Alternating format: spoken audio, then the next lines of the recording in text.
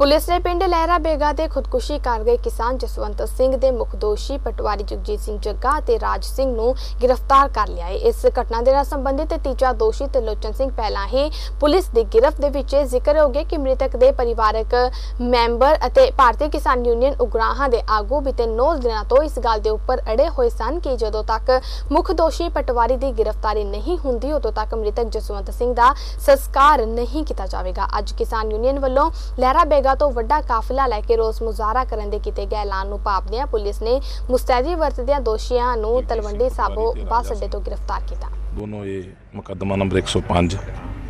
ਮਿਤੀ 10 5 17 under section 306 34 IPC ਦੇ ਜਿਹੜੇ ਸਾਡੇ ਮੁਲਜ਼ਮ ਸੀਗੇ ਇਹਨਾਂ ਨੂੰ ਅੱਜ ਅਸੀਂ ਤਲਵੰਡੀ ਸਾਬੋ ਬੱਸ ਸਟੈਂਡ ਤੇ ਅਸੀਂ ਇਹਨਾਂ ਨੂੰ